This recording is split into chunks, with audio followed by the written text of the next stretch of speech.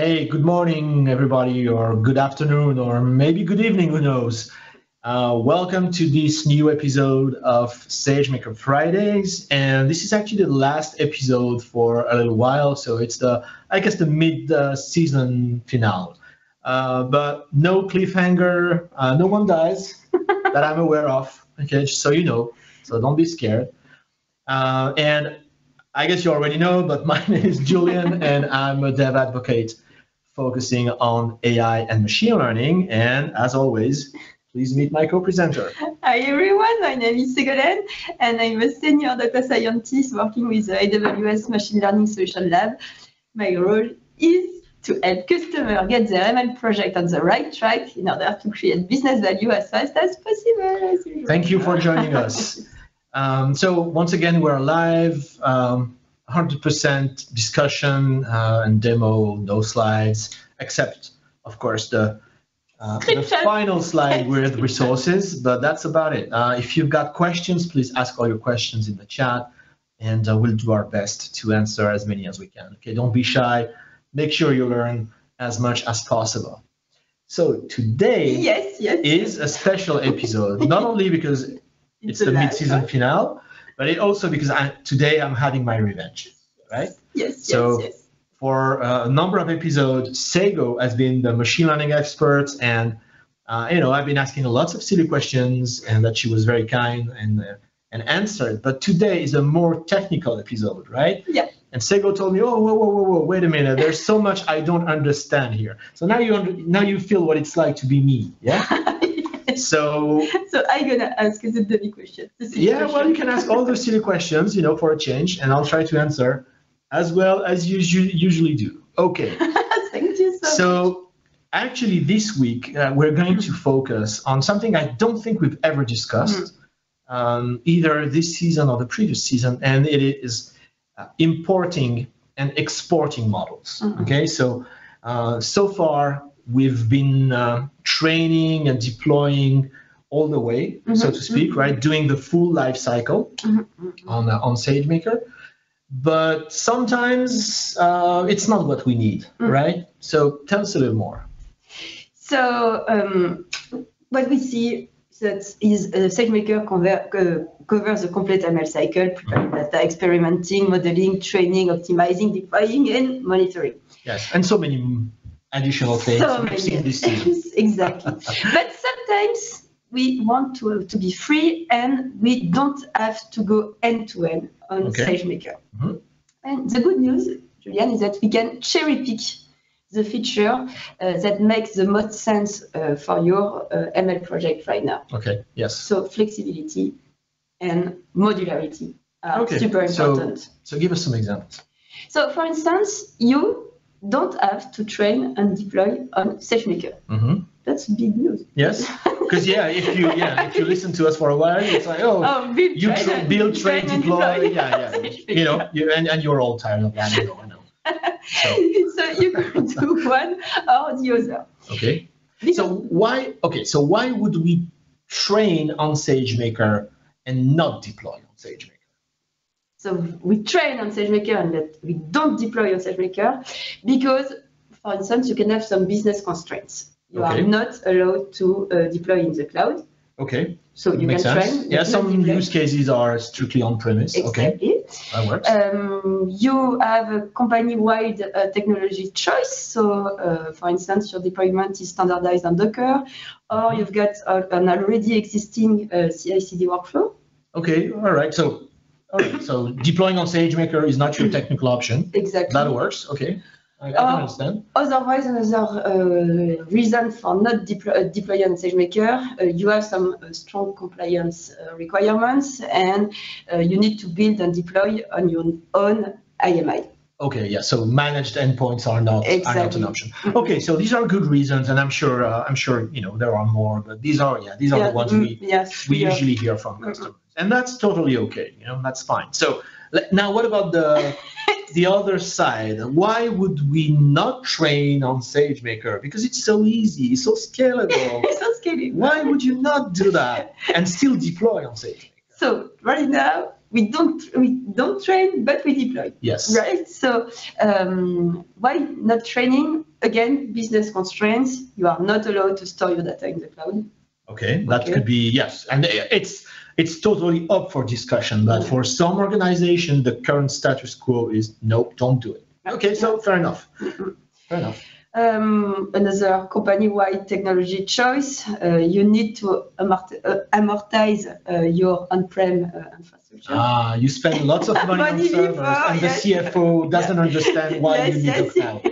Ah, okay, brings back memories. Yeah, yeah. Okay, so it's not a really good reason, but but it's still okay. CFOs usually win those discussions. Exactly. Okay, okay, so you have to adapt. All right, I get it. Or finally, you have uh, no training needs. Uh, your current models uh, just work fine. So- Yeah, it's actually yeah, it's actually a good one. Um, this one. Um, yeah, so you train your models, uh, or you use existing models from maybe partners. Exactly. You don't, you just don't train, and and you want to deploy on, in the cloud. So just deploy, no training required. Okay, um, and there's another one that you could hear from time to time, which is I don't know No, how to do, don't. I don't know how to train, or I don't know how to deploy. And come on, my friend, It With- it's not a valid it's No. not a good reason at all right? You can go and watch all the previous episodes so no. I don't know how to do it. Nope sorry. I'll be no i'll be firm on that one. I won't accept it okay? Sorry. All right so um so again when we do the whole end-to-end uh, workflow you know we, we use the estimator to train Mm. we use the predictor to deploy and we don't even see what the model looks like Mhm. right it, we know it's in s3 Mhm. okay so uh, it, it's copied in s3 once training is complete and we assume this is where you know uh, the predictor takes it and deploys it but we've never really looked at what Mhm. the model is And right that's important. and it's important because if you want to import you need to know what the artifact Yes, should be exactly. right what do you put in s3 to deploy Mhm. and if you want to export well it's the, the other side of the story what should you look for in s3 and what do you do with it in Mhm. order to uh, uh, use it in, uh, in a different context okay so a sagemaker model Can we show? Can Yes, we show can us? take a look. Yeah, so let's let's show my screen. Uh, let's switch to uh, uh, to SageMaker Studio, and let's take any job here, um, and we can just literally take. Uh, why don't we take? Why don't we take? Um, well, we can take. I want to show XGBoost maybe, if I can find one. Ah, it's hidden somewhere. All right, no, no worries. We can take, let's take a TensorFlow model. So you can just take any model and you right click on this thing. Uh, oh yeah, yeah, yeah, you're right. It's here. Yeah, sorry, sorry. It's Friday and I'm not getting younger. All right. Sorry. See why, why I need Sego. Right? She keeps me on track. Okay, so right click on open in trial details. Okay, and this opens um, uh, o- a new window with all the information you, you need to know. And of course, there's this thing called artifacts. And here we can see the model artifacts, right? And the first thing we see is that, okay, we have a, a long S3 URI, but we have a, a- file or an object, I should say, called model.tar.gz. So let's, why don't we take one of those? And yes. Uh, yeah, maybe I can just, do I have a terminal open here? Yes. Okay, so why don't we just copy one of those things? Okay. And what's in there? what did you expect? All right, it's a file called xgb.model. And obviously, if we look at a TensorFlow model, and we'll look at TensorFlow and PyTorch and uh, a few more things today, um, we'll see different files Mhm. in the inside the artifact. But this is the model that was saved by your training job. Okay. Okay. So remember, inside your uh, training script, you save the model in a well-known place, which is usually slash opt slash ml slash model inside the container, and then SageMaker takes that uh, and, and builds that model.tar.gz file and, and, and copies it to S3. Right? So Mm. all, all automatic. But this is really the model that's saved by your script. So in this case, it's simply a pickled uh, XGBoost model. Right. does it mean? Pickled? Yeah. So, uh, oh yeah, you're asking the silly questions. Okay, great. So pickle is a serialized uh, serialization format for Python. Okay, so it's basically, as we'll see, we'll load one in, in a few minutes. So uh, we can just load the serialized object straight into our XGBoost uh, uh, code and, and use it right, right away. Okay, um, so it's it's about the same thing. So again, for different algos, for PyTorch, TensorFlow, uh, MXNet, and so on, uh, Mhm. what's inside the artifact is going to be uh, different, but the process is always the same. Okay. Right? So th- that's really all you need to know. Uh, go and find the model artifact at the output location, copy it, extract it, and again, depending on the framework, this is where you find the model, and uh, and then of course you should know what to do with it. Okay. Okay, so um, simple as that. These are SageMaker models. So I can uh, I can And what about uh, Yeah. Tensor TensorFlow models? It's gonna be different. So? Yeah, so TensorFlow, as we'll see in, uh, in, in one of the examples, so TensorFlow models uh, trained with the TensorFlow container on SageMaker Okay. are saved in uh, TensorFlow serving format. Okay. So TensorFlow serving is the model server for TensorFlow. Okay. So it's a, it's a different format, but we- we'll see an example. We'll actually load one on my on my laptop uh, using Docker. Whoa. Oh yeah, yeah. yeah. I told you it's a technical episode. not some, not a lot of machine learning today, but lots of lots of cool stuff still. I hope. Not Why Docker is very nice. yeah. Okay, so should we start with importing models? Cool. Yeah. Um, so again, um, importing models means uh, we have an existing model. Okay.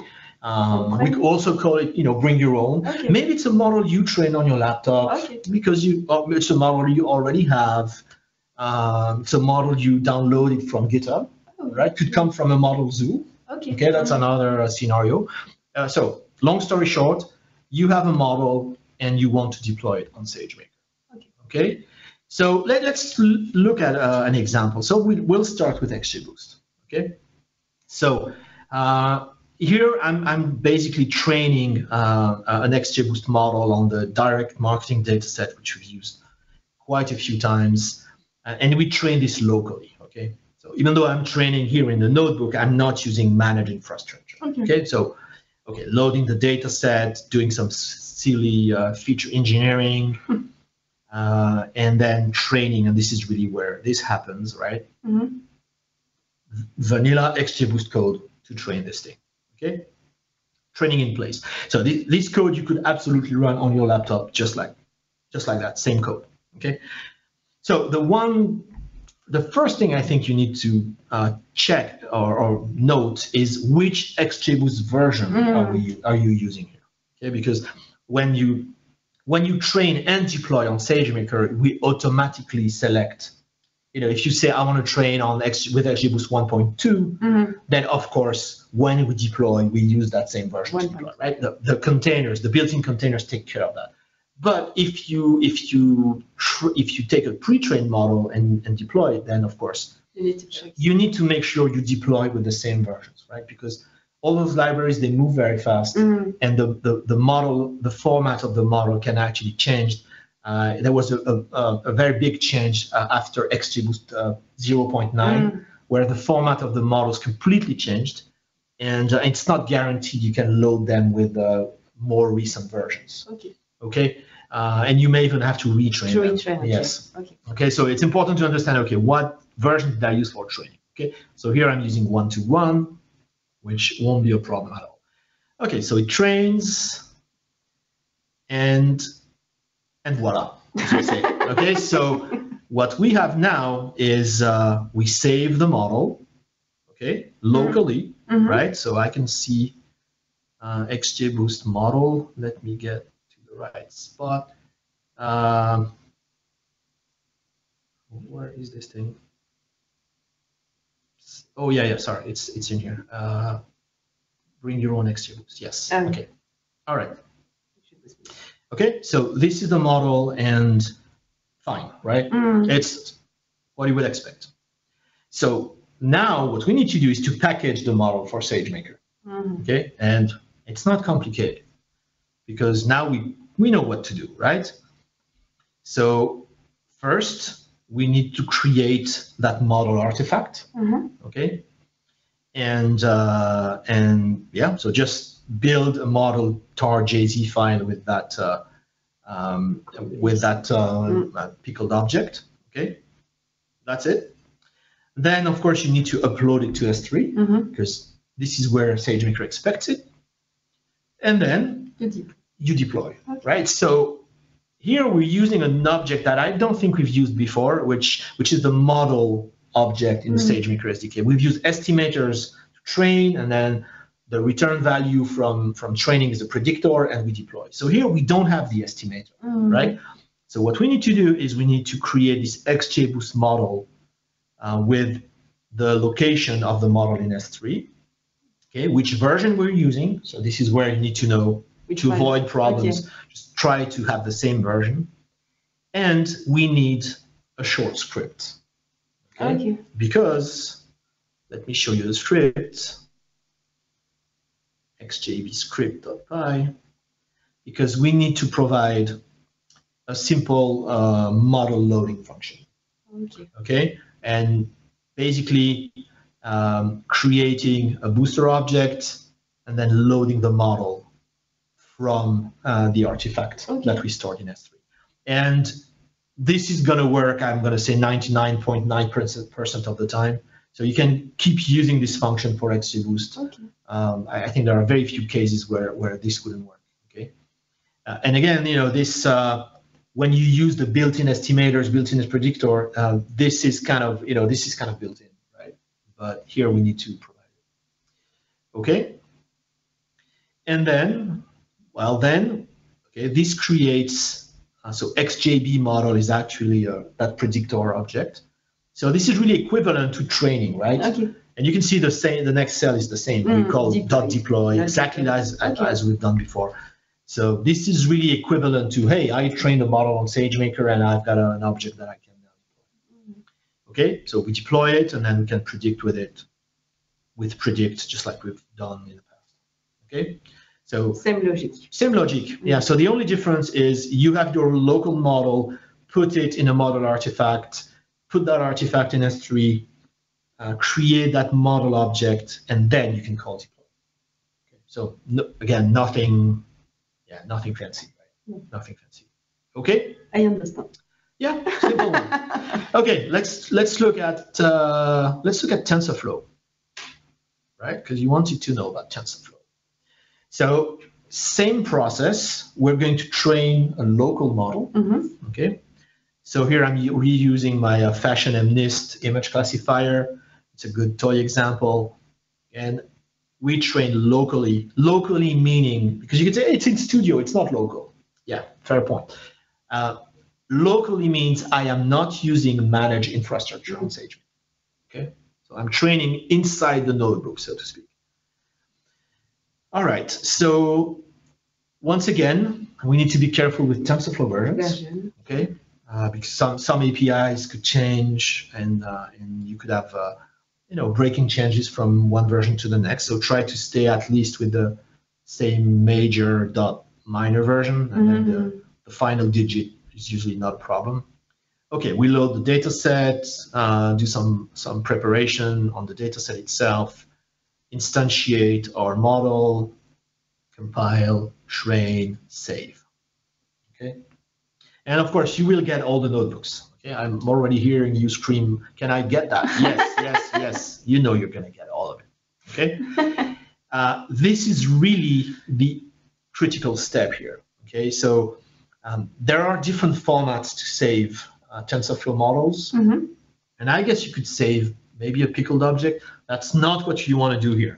Here, you really want to save them in TensorFlow serving format. So if you're not familiar, TensorFlow serving is a model server. Um, that's part of the TensorFlow project. Why is this important? It's important because that's what the uh, containers, the SageMaker containers use to deploy.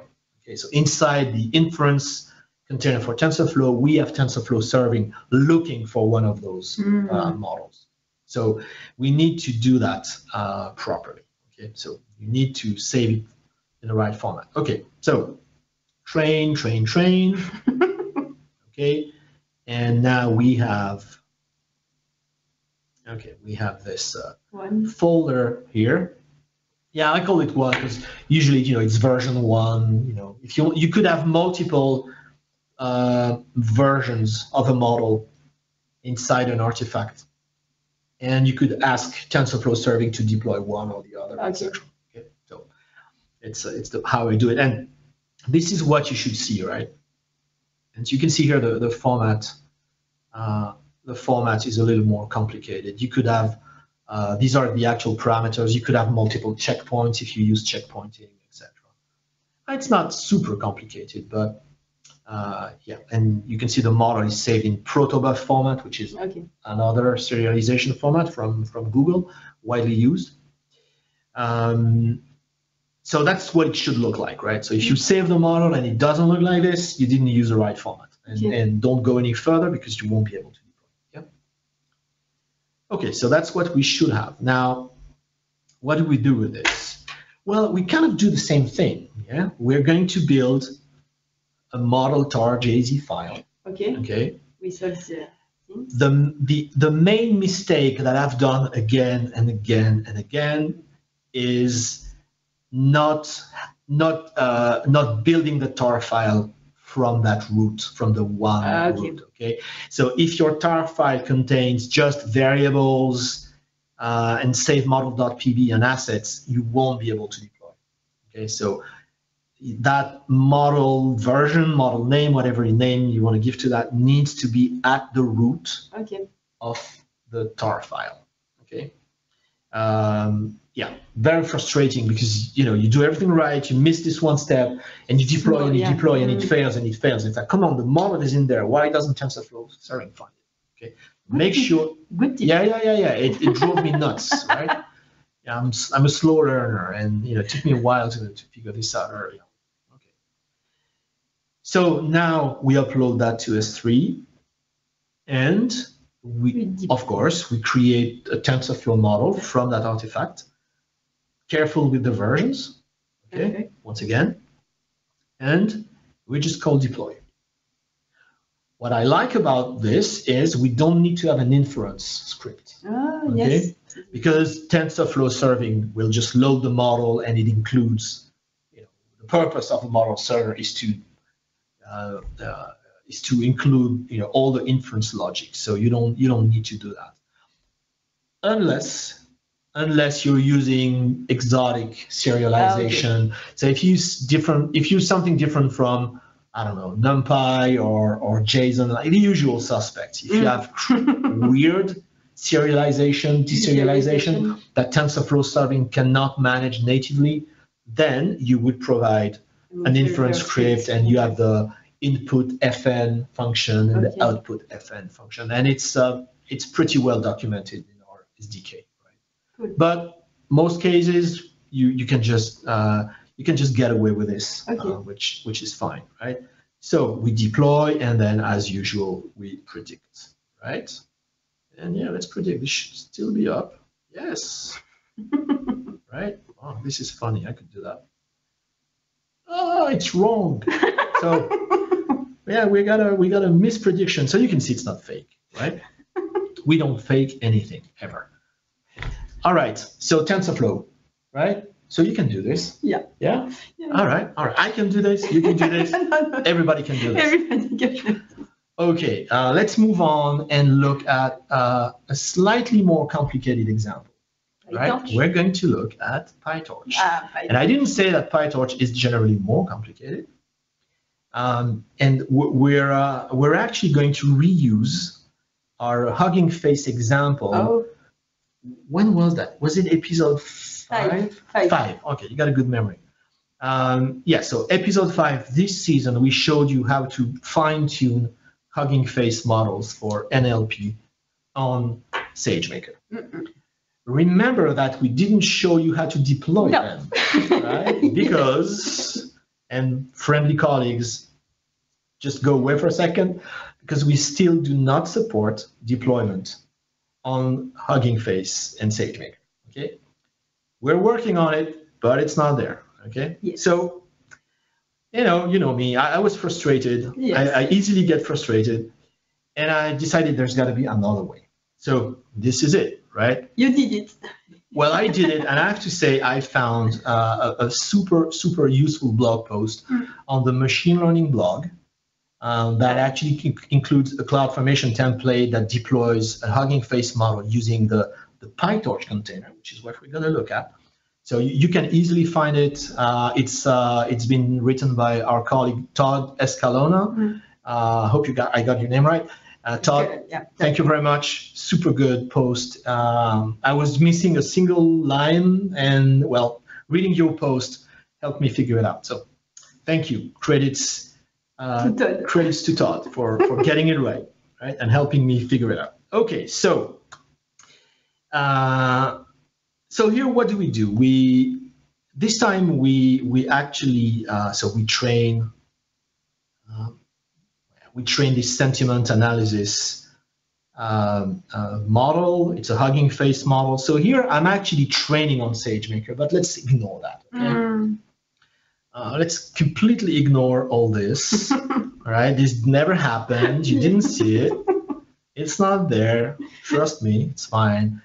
And okay, so I actually have, uh, a, which is really a PyTorch model, right? I'm using Hugging Face as an excuse, but this would work for any PyTorch model that you already have and that you want to deploy on SageMaker.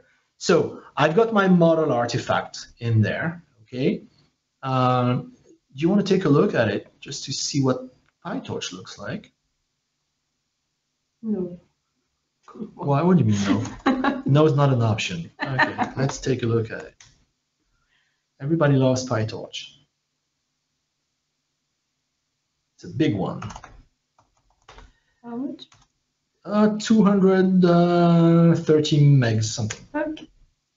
Okay, so this is what you have Mhm. in your PyTorch artifact. Mhm. Okay, the model and the, the configuration and Right. training arguments. Okay, so again, if you had trained this on your local machine, your local server, you would get those three files and you would package them Mm. in a model artifact and you would upload all that stuff to this, right? So here I'm taking a shortcut because we already have that. Okay, so let's pretend I built it and I put it in S3. Now what? Okay, um, so here I'm going once again to use PyTorch model Mhm. uh, to uh, uh, import, right, so to speak, the model to SageMaker, framework version, blah, blah, blah. And I need an inference script. Okay. And here it's pretty, it's actually using Hugging Face, I think is, is a good way to understand why we need this. Yes. Okay, because yes, the Hugging Face model, this one is implemented in PyTorch, Mhm. but um, the PyTorch inference container, which is using TorchServe, right, the, the vanilla one, doesn't know anything about Hugging Face. Oh, Okay, so that's why we need to provide that script where we actually load using the Hugging Face APIs, Mhm. and yeah, then it's it's a legit PyTorch model, but we're actually using the Hugging Face API, so that makes sense, right? Mm-mm, That makes mm-mm. sense why we need that script. So let's Okay. Yeah. let's look at the script. It's not it's not terribly complicated. So we have that model fn function, which is responsible for actually loading the model. Mhm. So here, loading a Hugging Face model is, is very simple. Uh, so from the artifact, we have the config file and we have the, the model itself. So we load the config uh, using autoconfig. And here I train a Distilbert model specialized for sequence classification. And I just load the model and its configuration, right? And I return that. And now this thing, this model is really a PyTorch model. Okay. Okay, and then fine, it's then it's all good. Then uh, the container knows how to invoke it, Okay. right? But you see, we're using uh, transformer APIs, and of course, the vanilla container wouldn't know how to do that? So when we have a proper Hugging Face container for deployment, I'm guessing we won't need to do that because the logic will be in Okay. there. Maybe we will have to. Well, let's see. I'm not uh, making any promises, but I'm guessing it'll be simpler. Uh, and then we need a prediction function. Okay, so uh, taking the input data, which is Mhm. a, a text sentence. Um, this is a, a, again a sentiment analysis model. So we pass uh, text, customer reviews, and we predict them just like that. We take the output, uh, uh, not probabilities, because this is uh, these are really activation values, right? Okay. we didn't apply softmax. We could apply softmax and return probabilities here. We keep it simple. We just look for the top activation value, which indicates the top class, and we return the name of that class, which is negative. Okay. And then those, those input and output functions, I'm guessing, I'm not sure, but I think they're actually optional here because uh, I think JSON would be uh, uh, would be supported natively by TorchServe. So not sure, need to check. Um, but again, if you have different serialization, you could be clever here, right? Okay. I don't want to be clever. I'm fine with JSON for once, right? okay, so um, again, load the model, predict, and you can see these are super simple, easy to easy to adapt, right? And finally, once we've done that, yeah, we can deploy as usual, and then we can predict. And we can see this is a positive review, and it's positive, and this is a negative review, and it's negative, right? Perfect. So that's it. That's that's PyTorch. Okay, same same logic, just you know, just a little bit of uh, customization Mhm. here uh, because again we're using Hugging Face, uh, but this shows you it's not terribly complicated No. to uh, to do that, right? You just need to once you have a working example, as always, it's so much easier to uh, to Mhm. adapt. Okay, and uh, yeah, and don't worry, don't don't forget, go and look at the at Todd's post on on serving um, uh, PyTorch models with uh, uh, with Torch. It's it's uh, really really useful. Okay, uh, what did I forget? Uh, I think that's about it. I think that's about it. Okay, so we looked at X importing XGBoost, um, TensorFlow, Right. and PyTorch. Okay, so the main ones, uh, the ones that I didn't cover, like scikit-learn, is you can absolutely use the same technique as XGBoost. Mm-mm-mm. Um, and MXNet is is very very similar to this, right? Build the artifact and and use the MXNet model and then call deploy. Right? Mhm. And again, in most cases, you I don't think you will ever you will even need an, a serialization, um, um, an inference script, right? Okay. Unless you have weird serialization. So you should be you should be covered here. You want to move, let's move to exporting. Maybe Yeah. yes. Yeah, let's do exporting. okay. What does it mean exporting? So exporting in this case means we train on SageMaker, Mhm. but for whatever the reason is, we do not want to deploy on SageMaker. Okay. Okay. Uh, so we now we know what to do. We need to grab the artifact Okay. in S3, And export them. extract it, Mhm. yeah, copy it to Mhm. wherever, extract the model inside, and then use whatever we like to load the model and predict with it. Okay. Okay, so we're going to look at a few examples. Um, here is the first one, which is, I think, XGBoost. Okay, so, all right, um, training an XGBoost model. Okay, as we've done many times. Okay, and this is still the same direct marketing data set, binary classification, but. Okay, SageMaker business as usual. Thank you. Thank you. yes, I almost forgot. it's right, a right. good example. Yeah, yeah, it's a good example. So we train nothing particularly different here. We train and train and train, and let's not look at the log here. Okay, so we call fits, and as we've seen, we can easily retrieve the artifact. Mhm. Um, you don't even need to go and look at anything. You can do this programmatically. Uh, there's a, um, a, a member in uh, in the estimator. It's called model data that actually points Okay. uh, to that uh, exact location. So you can automate all of it, right? Uh, and uh, so I can copy this and I can extract it. Okay, and we've seen before uh, that this contains that XGB pickled object. Okay, so now loading it is super simple. Okay, once again, the only gotcha, I guess, is version problems. Okay, Okay, as usual. API differences across versions, etc., etc. So make sure uh, here we train with uh, XGBoost one to one. So let's load with it one to one. Okay. Although I'm, I guess you know if we tried you know one two two or maybe one three, you, you know it would certainly work. But you know. Uh, Again, it's hard to know in advance. Just use your own version. If you Mhm. run into problems, then stick to the same version that you use. Okay? And it's it is as easy as this right? Create a, a, a, a- an empty booster object. Mhm. and then just load the pickled object. That's it. Right?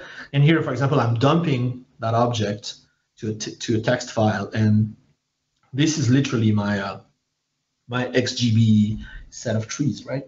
Ah, okay, right? So then you can go and you can predict with it directly. It's straight it's there. Okay? Perfect. so, you know, I get a lot of questions on that. I mean, it's it's it's. Uh, I mean, literally all the time, people ask me, "I want to use that model. I want to import that model. I want to export that model," and and they get all, uh, you know, anxious and and it's it's not hard, right? Again, if you have working examples to start from, it's so much easier, which is why we're doing this today. But yeah, you can see it's easy to go and and, Mhm. and, and do those things, right? So let's uh, let's do the same with TensorFlow. Mhm. Okay, so fashion, fashion MNIST again, training, da da da, Retrieve. retrieving the model artifact. Mhm. Okay, and uh, let's do. Of course, we could load it here, but let's do it differently. Now. Okay, let's show you something else. so on my local machine, and this is really my local machine this time. Oh, Yes. Okay. All right. Uh, what did I do? I loaded and extracted. Okay. Uh, Okay. This uh, this artifact. Okay, Mhm. so this is really yeah, same thing. Copy, extract it to this directory, and we're going to try and uh, so let me copy that command. Okay, we're going to start to we're going to try to load the model locally with uh, TensorFlow serving in a Docker container. Okay, and if this looks complicated, I actually copied and pasted it from the TensorFlow serving doc, and I just used my own path. Okay, so it's not hard. Uh, yeah, so this is the path. Uh, this is the model we want to serve, and that's it, right? And of course, you need to pull the TensorFlow serving image first. So I've done that before. Can we actually run this?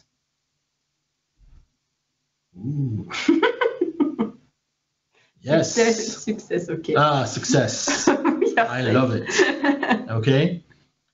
So that's it. Uh, it's loaded, right? And uh, and then you know, so uh, uh, TensorFlow serving is uh, is exposing its API on my local machine, and I can use it as usual. cool. Okay, so nothing complicated here, right? Nothing complicated here. Just need to know what to look for. Okay. All right. See? Yeah. Like I say all the time, I, I, I waste a lot of my of my own time so that you don't have to. Right? And if you think this worked on the first attempt, it didn't. it never does. It okay? never does. That's Never, okay. I'm. I, I don't care. I just hope it's gonna work on the first attempt for you. That's that's the important bit, right? Again, I, I'm paid to waste my time so that you don't have to, right? And I'm so good at wasting my time. I'm brilliant at it. Okay. So here's another option, and of course, if you wanted, uh, here I ran this uh, container locally, but if you Mhm. wanted to deploy on ECS or Okay. or EKS uh, or you know any Docker platform, you, you could do the same. Okay, just Right. a command. Yep, you could run you could run this on, on your cluster and and off it goes, right? It works. Actually, we're going to do an example later on. Yeah, I'm going to look at uh, deploying on Another. a Docker cluster. Yes. Ah, Okay, let's move on. Uh, so, what about built-in algorithms? Yeah, we've, we've covered built-in algos. In, in, in- yeah. yeah, in a lot of detail, uh, blazing text and uh, and um, yeah, I guess we did image classification. Um, yeah, we did. Yeah, yeah, yeah, we Last season- did. Um, two, yeah. yeah, last season we did a lot of those uh, uh, NTM, LDA. Yeah, Mhm. we did a lot. Okay, so why are those different?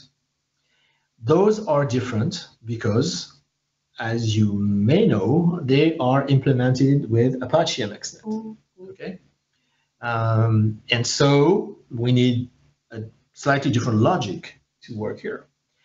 So let's see how we could export um, uh, uh, the image classification model. Okay, so a model trained with the image classification built-in algo.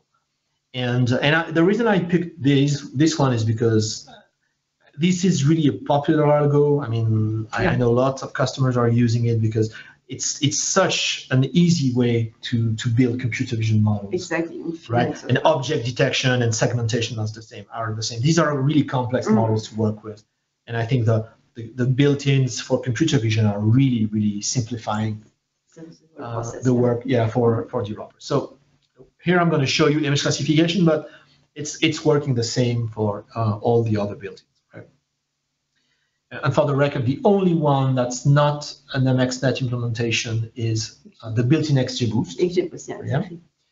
Uh, and I think that's it. I think that's it. Yeah, I think that's it.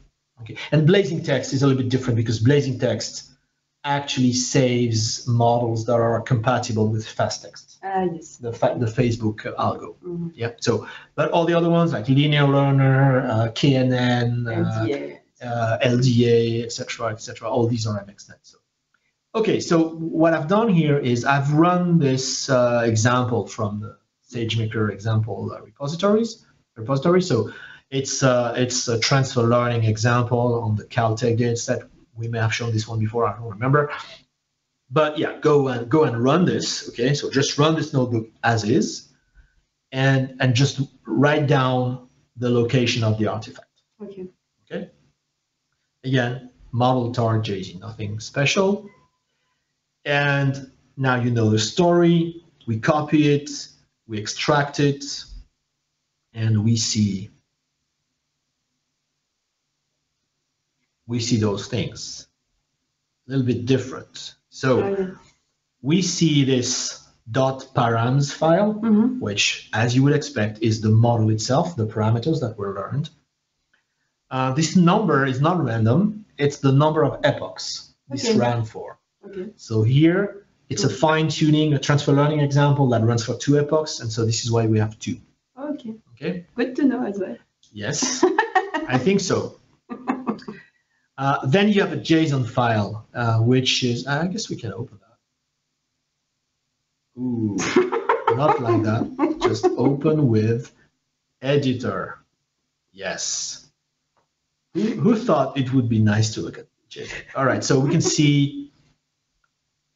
This is not for humans, don't worry. Okay, we can see basically the layers and, and all the functions and all the operators, right? Ah. Convolution, blah, blah, blah, blah. So it's literally the model definition, okay? I'll show you in a Yeah, minute yeah. a better way Better to visualize way. it. Let's close those Yes. JSON files. And model shapes is important because guess what? This is the input shape Oh, of the model. So the input tensor for this model is called data, Mhm. pretty good name. And it has a shape of, so that's batch size. Okay, So this was trained with 128 batches, I'm guessing.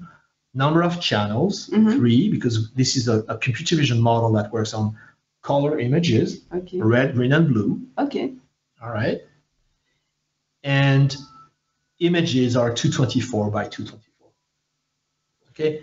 So this is, yeah, this is really useful because, yeah, knowing this is important if, if you want to invoke the model. Mhm. Okay. So take a look at this. This tells you what you need to know to invoke the model correctly. Right? Good. Uh, okay. So, uh, no, that's not the right one. This is the one. Okay. So let's close this, extract the model, and this is the bit that's a little people will be a little less familiar with because you know maybe they're a little less familiar with MXNet mm-hmm. in general. So don't worry, there's nothing really weird here. Um, and um, if you don't understand the details, you know, uh, that's fine. You can just go and read the doc. But it, I'll try to explain what goes on here.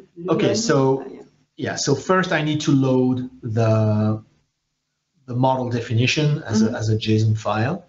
Okay, and then I'm using this API in, in Gluon. Okay, remember Gluon is is the uh, um, is the imperative API of MXNet. Okay, I don't want to be too theoretical here, but MXNet originally was a symbolic framework, mm-hmm. kind of like early TensorFlow, etc., etc. And then it added an imperative API, kind of like PyTorch, and this is called Gluon. So here we can just say basically, hey, please instantiate this model. It's really what it does, loading that crazy JSON file that we saw, um, and setting the input tensor as data. This is why you need to know okay. that this is called data. Okay. Right? Otherwise, bad things will happen. Okay. right. That's all you need to know. We're instantiating that model based on its definition and setting the name of the input tensor. And this is a really cool one. Uh, so MXNet has this API called Plot Network, where uh, again, passing the, the model, you can say, hey, I want to see it, right? So this is actually, so that's softmax here. So it's actually the output layer. Mm-hmm. So you need to scroll all the way down. right? Okay, so that's where it starts. Cool. Okay, data, input tensor, I'm guessing this is batch normalization. And then here we go, convolution and batch norm and activation with ReLU pooling. and pooling, right? So if you can't sleep tonight, just you can play the game and watch through all the, uh, go through all the steps. Is this a skip connection? Maybe. I think it looks like. It looks like. Yes. and if you don't know what a skip connection is, you haven't been paying attention because Sego explained all of it a while ago. Yeah. Okay, so we can see, oh, can see this model in all its glory. And by the way, this is a ResNet model. Mm-hmm. Okay, this is why I'm pretty sure these are skip connections. That's what ResNet does. Okay, and you can see all the layers. It's actually a cool way to see how models are built. Definitely, yeah. Uh, better than your JSON. much better than JSON. So if you if you're curious about certain models, you can load them in Gluon uh, and then use that API to plot them and uh, and yeah, just check that. Oh yeah, you understand the architecture. Mm-mm-mm. Okay, this is pretty hard to fit in PowerPoint slides, unfortunately, but um, it's it's really. I mean, it's it's a really nifty, yeah, it's a nifty feature. Okay, so now we have the model, but it's empty, right? It's it's blank. So we need to initialize it with the training parameters. Okay. Okay. And and then we need to call initialize to uh, initialize some of the runtime parameters. That's all you need to know. And it complains a lot about warnings that we can ignore. blah, blah, blah, blah, blah. and then we can predict. So here, I, you know, I, I was a little bit lazy here. Uh, we could load an actual image. Here, I just generated a random okay. uh, tensor. Uh, so size one because it's only one image, right? Mm. Three channels because it's red, green, and uh, blue, mm. and it's 224 to 20. So it's just a random uh, uh, a random uh, tensor, and those are in MXNet. Those are called ND arrays, okay. which are really tensors. Okay, it's very similar to NumPy arrays. And then we just predict. I'm not sure what we're predicting here, but we're predicting. Okay, just call net get a response, and the shape of that response is a vector of 257 probabilities because Caltech data set we fine tune on has 256 classes plus what they call a clutter class, which is just a bunch of random garbage to make the model learn a little bit harder. Okay, so there you go, not hard, and you can apply that to all the MXNet models, all the all, all the actual MXNet models. If you train M proper MXNet models, that works, and all the built-ins that are based on MXNet, you can do the same. Perfect. Right. The only thing again you need to pay attention to is the shape and the name of the input tensor but that is stored in that JSON file in the in the artifact. Right? Okay, one more. Last one. Yes, we have 10 minutes. 10 minutes Perfect. Okay, so all you container fans out there are Oh gonna like God. this. Sego, take a deep breath. It's gonna be great. So, uh, let me show you how to deploy a TensorFlow model on a container service. Okay. And I, I've selected Fargate, uh, which uh, is uh, serverless, Mhm. even better. Right, that's the easiest way to work with uh, with containers, as, as far as I'm concerned. A lot of people will disagree, but I, I really like Fargate. uh, that's fine. So, high level process. Start from, uh, in this case, a TensorFlow artifact. okay. Extract it, blah, blah, blah, blah. Okay, we've seen this before. Now, what I'm going to do is I'm actually uh, taking the model that we extracted here and I'm committing it to GitHub repo. Mhm. okay? Because on the container that's going to run on Fargate, I'm just going to clone that repo, extract that model, and fire up TensorFlow serving inside the container to serve pages. Okay, so you don't have to use a Git repo, but it, for me, for demos, it's it's the easiest way. Okay, so we'll see uh, how that works. Uh, no time to explain uh, ECS and Fargate in detail. Uh, there's a command line tool which is called ECS CLI that lets us do some operations like creating a cluster, listing the tasks that are running on clusters. Uh, so yeah, we need to install it. Okay. Um, creating a cluster is as easy as this, right? And it's instant because it's serverless oh, right? So you don't have to wait for anything. And if you go to the Fargate console, you're going to see your cluster, right? It's immediately available. Okay, very nice. Uh, and I'm going to set this container as my default container to work with. And yeah, I can list, I can use ECS CLI PS to see if anything's running on it, etc., etc. Right? So simple command line to check what the cluster is doing. Um, my containers are going to log stuff, so Mhm. uh, I need a log group in CloudWatch logs, Mhm. right? You just need to create this once. And I need to register uh, what is called a task definition, which really lists what the task uh, that I'm going to run on, on, uh, on the container looks like. And you need to register it once. And yeah, let's maybe look at the file itself. I don't really enjoy that. Uh, JSON viewer. Okay, so right, it looks it looks complicated, but it's really not. So uh, this is the image I'm using, right? okay. So it's actually the deep learning container for TensorFlow 232 uh, for CPU. Okay. So it's unchanged, right? Um, I use the existing container. So this is the same container that SageMaker uses actually, right? For, uh, for CPU inference, same one. And the command that I'm going to run inside that container is clone the repo, start TensorFlow serving, uh, loading the model that we cloned. okay. Okay, so that's it. That's what the container does. Fire up TensorFlow serving, load the model, kind of like I've done in Mhm. locally a few minutes ago. Okay, Okay.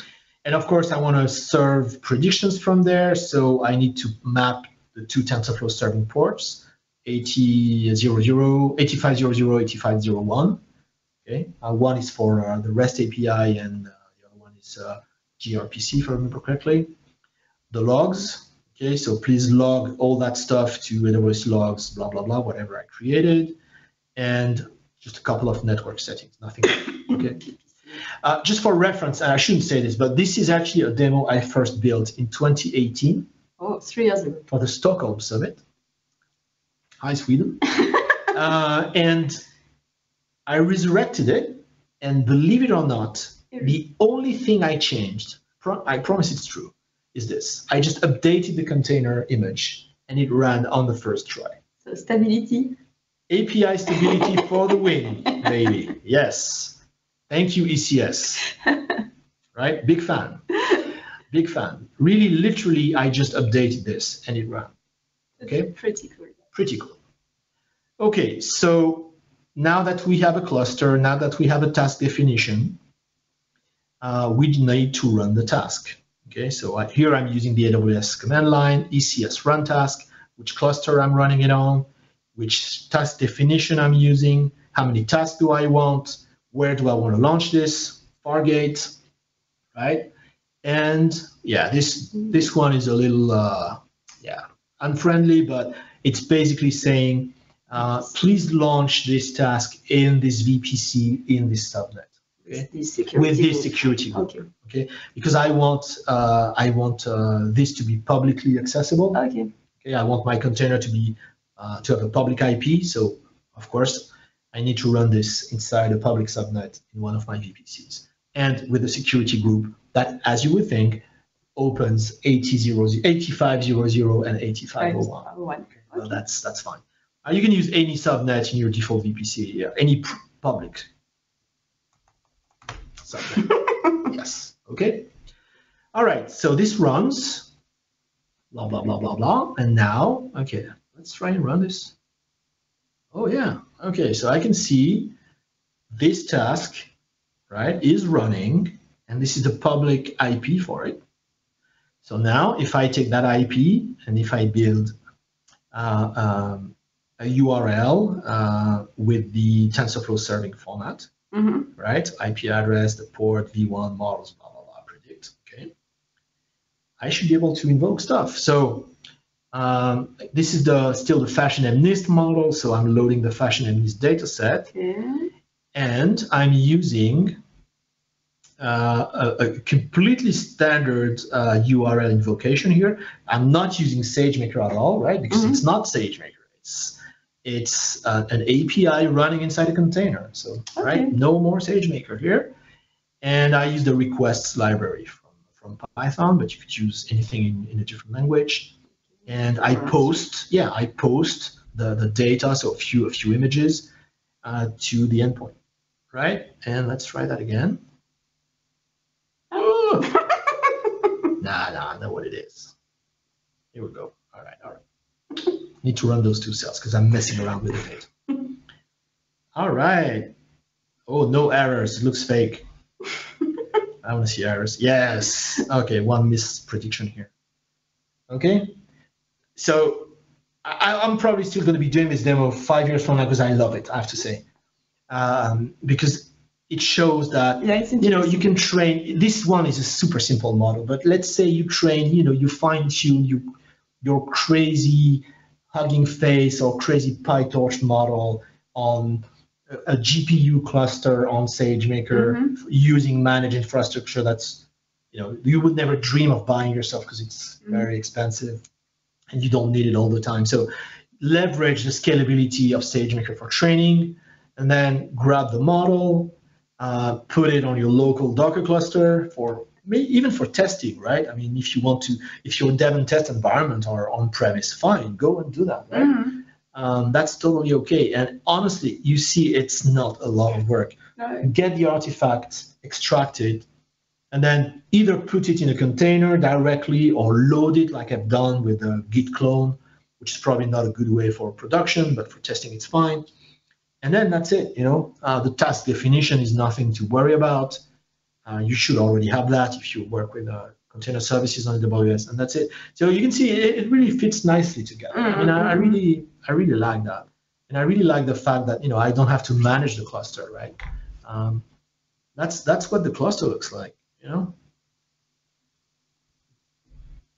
No instances to manage. How cool is that? You know, Yeah, definitely. fully managed, serverless, serverless, and I can see the task, That's and I cool, can see yeah. what's running. You know, it's it's all good, right? I can see uh, I can see all that stuff here that I, that I used in the task definition. Okay, and I can see the log. Look, amazing. Yeah, perfect. It just works. I love it. Cherry on the cake. Yes, cherry on the cake. Where's my T-shirt? All right, all right. Okay, so uh, yeah, I guess One minute left. no, no, we are absolutely on time. Have we ever been late? I'm not sure. Uh, maybe, maybe a couple of times. okay, so uh, as always, give me a few minutes. Uh, I will, I will copy. Uh, sorry, I will commit those notebooks to the usual repository. This is where you will find all the SageMaker Friday uh, notebooks for, for season three. And for those of you who have been too busy to watch previous episodes, I'd like to remind you that you can watch uh, all of them uh, on YouTube Mhm. and of course on the Twitch channel that you're looking at right now. Okay, but if you're watching them on YouTube, then I get the views. So yeah, yeah. Please use YouTube. Right? Thank you. I like to get the views, and you can ask me questions. Right? Ah, yeah, and you respond. yes, you can leave a comment, and most of the time I'm going to respond. Right? If I'm not responding, it's because either I'm too busy, or I didn't understand the question, or I simply don't. know. Okay. All right. But yeah, uh, yeah, YouTube, and for those of you who have posted questions, thank you. I, I love that, and uh, and you can you can post more. Okay. All right. So uh, I think we're done. yeah. So I'm I'm quite sure we'll be back at some point, uh, but there are other things we need to work on, uh, and this is it for now. So Sego, thank you very much Thank for so much, joining me for those eight crazy episodes That's great. uh, yeah, it was good fun. We'll certainly uh, certainly do more uh, um, in in a few months, right? And uh, once uh, once we, we've cleared a few things out of the way. No, I didn't say re:Invent. re:Invent's going to keep us busy for a long time, uh, but we have other projects and we need to pause for now. So thank you so much. Until then, uh, you know, please connect Keep get in touch, ask questions, LinkedIn, Twitter, YouTube, anywhere you can find me. Um, yeah, The- on the moon? not yet, not yet. Working on it, working on it. Uh, yeah, working on it. I'll be on that rocket. Uh, and until then, Keep rocking. keep rocking with machine learning.